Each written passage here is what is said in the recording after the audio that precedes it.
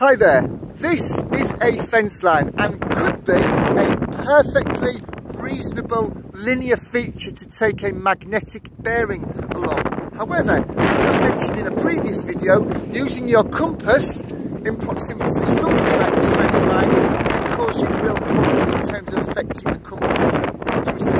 However, that doesn't mean that it's a non-starter. Here's what you can about taking a bearing along the fence line. Instead, turn your body so it is facing parallel to that fence line.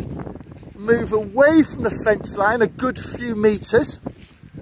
Double check that you are once again parallel to that fence line and then you can take your magnetic bearing with your compass.